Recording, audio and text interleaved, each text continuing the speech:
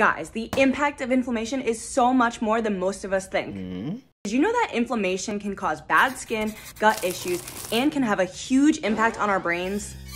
Truth is, we're just starting to uncover the long-term impact of inflammation. I should know. I suffered from inflammation for years. I had gut issues, never had energy, and always felt foggy. So one day, I totally reshaped my life. I changed my diet, started exercising, and did tons of research on natural anti-inflammatories. One of the secret weapons I found to calm inflammation was curcumin. There are so many research studies on the impact of curcumin on inflammation. The only problem is that it's difficult for our bodies to absorb. This is liposomal curcumin by Terra Health. It uses liposomal delivery to help you absorb five times more curcumin than powder-based supplements. I just put a couple of drops in warm water every morning. It's a great way to start my day, and I know that I'm doing everything I can to help control my inflammation.